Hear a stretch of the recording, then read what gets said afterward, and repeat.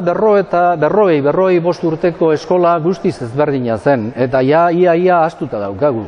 E, bai baliabideetan, bai ikasle motetan, bai irakasleetan, bai zuzendaritzetan, bai gauza askotan, eta gauza asko gainera ez aldatu bagarri, desagertu egin dira, eh? desagertu egin dira.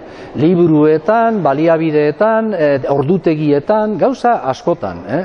Horregatik eh, posiblea da esatea, e, parekatu eskero hango eskola gure eskolarekin, ba, irauldu egin dela. I, i, oza, horre eman dena da aldaketa bat, baino gehiago, pausos pauso noski, baina ez tegoia ezeri ikusirik.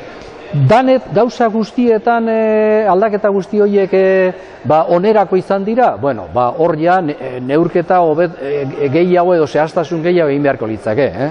Baina orokorki hartuta, e, e, vamos, e, ez dago zalantzarik orokorki hartuta eman diren aldaketa gehienak danak ez, ez esateagatik ba, onerako izan dira.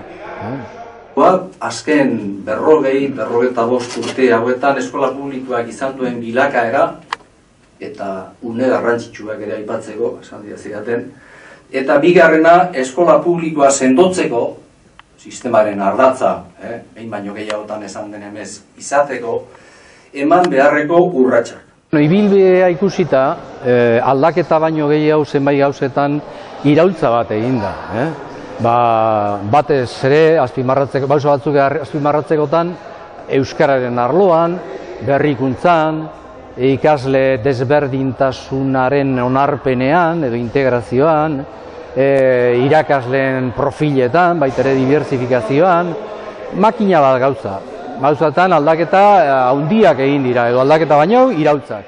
Hatik, emetik aurrera, ikusiko dugu hemen, aldaketa batzuk, aldaketak, be? eta alda, bueno, aldatu gutxikoak, aldatu beharrekoak. Alan eta guzti, ba, argi dago, eta gerora begira, eta premia berriai, ba, ego, erantzun egokia emateko, beste gauza batzutan ere, ba, e, egin beharko direla aldaketak. Esate baterako eta batzuk azpimarratzeko ba, autonomia mailan, ikastetxeak autonomia mailan ikustu dut eskuratu beharko lukete, baita e, ikasle eta gurasoen parte hartze mailan, esate baterako, e, eskola eta ikastetxeen diferenten artean e, lan batuketan, e, sareak osatzen, e, gauza guztioetan e, aldaketak e, behar beharrezkoa dira. Eta aldatu behar den beste gauza bada, e, gizarteak, gizarteak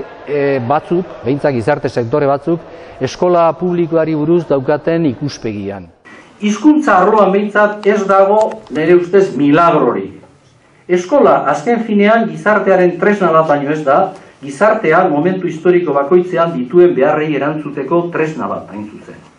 Behar horiei erantzun egoki... Dana, behintzat nik e, beharrezkoa ikusten dut, e, nahi bada, eh, eskola publikoa gerora begira ere, alde batetik hori e, gizartea duen premia erantzuteko, eta baita ere, ba, koezio, gizarte koezio ardatz bat eh, isateko, eh, euskal gizartea. Beste batean, kudeateka sistema, kalitatea, eh, horrezta egite zenbat ku, zenbat iso, eh, instalazioak, eskolaz kanpoko eskontza, es, eskaintza... E, e, bakoitzak nahiko lana, nahiko lana dauka, ba, batzutan ba, berak dituen ba, e, eguneko premiei erantzuteko.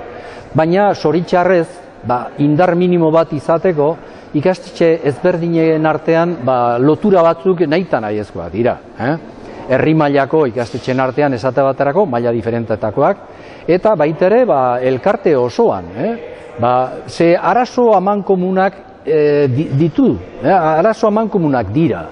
Osa, esan nahi dut, autonomiaren asuntoa ba, guztien arazoa da.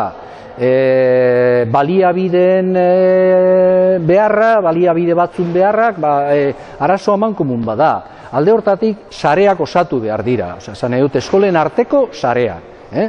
eta alde eta eta baita ere ba, indarrak batu ba, gauza batzuk aurrera ateratzeko. Beste lan bakoitza bere aldetik jotzen baldin badu, ezinezkoa izango da ba, premia edo erronka guzti horiek ba, gainditu.